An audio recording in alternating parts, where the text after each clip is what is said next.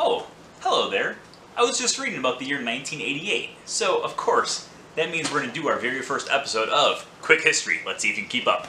Back in the 1980s, the Imagineers wanted to have another pavilion over at Epcot Center called the Movie Pavilion. Now, Michael Eisner said, why not just turn it into a whole park? So, opened up 31 years ago today with three attractions. There was the Studio Backlot Tour, the Animation Tour, and of course the Great Movie Ride. Now in order to actually pull this off, they decided to pull together and team up with MGM, completely different film studio making Disney MGM Studios. Now when they first opened, and actually before they opened, they actually use it as an actual real studio lot. Before you had things like YouTube, Blu-rays, or DVDs, there was no way for you to actually know how they made movies. So the entire idea of this park was to have it so you go in and actually learn how a movie is made, while actually watching a movie be made. So shortly after the entire park was built, they started to add more and more shows shows and attractions, things like Indiana Jones' Epic Stunt Spectacular, Star Tours Muppet Vision 3D, Here Comes the Muppets, and so much more. Now in 1994 they decided to have the first big expansion, Sunset Boulevard. Now along with Sunset Boulevard they had the Twilight Zone Tower of Terror, the first thrill ride. And in 1999 they would also add in Rock and Roller Coaster starring Aerosmith. While all these thrill rides were being created, there was one problem that was going on outside of the parks, and that was DVDs. DVDs started to show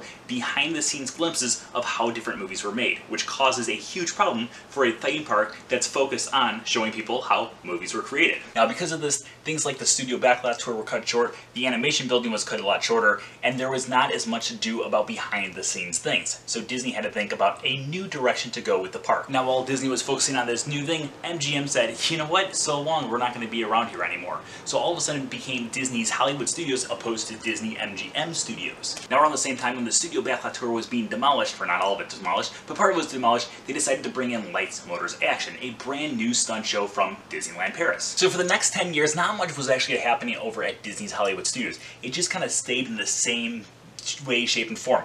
It was still the Tower of Terror, Rock and Roller Coaster, Voyage of the Little Mermaid, Lights, Motors, Action, Star Tours, Indiana Jones Epic Stunt Spectacular, but there was nothing really happening. But then in 2013, Disney released a massive hit called Frozen. Maybe you've heard of it? Now, Frozen brought characters like Anna and Elsa into everyone's home. However, when they started to see the popularity of this film, they decided to kind of do a huge transformation of Disney's Hollywood Studios and pretty much turn it into a solely Frozen theme park, which led to something huge. Now with all the Frozen things and all the hype and having it so they could actually see that a lot of people are going to flock to one park when it's solely based around one item, they decided to open up two brand new lands. Toy Story Land along with Galaxy's Edge, which pretty much brings us back to today. Now I know this was a quick history, but that's the name of the segment, it's Quick History.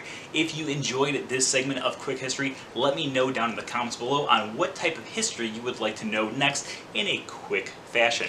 Of course, there's so much more stuff that we could talk about with Disney's Hollywood Studios. We're just going to do that in the future, sometime. I don't know when, but we're going to do it. As always, if you like this content, make sure you are subscribed to us right down here on this channel. And until next time, we'll see you guys all a little later. Bye-bye.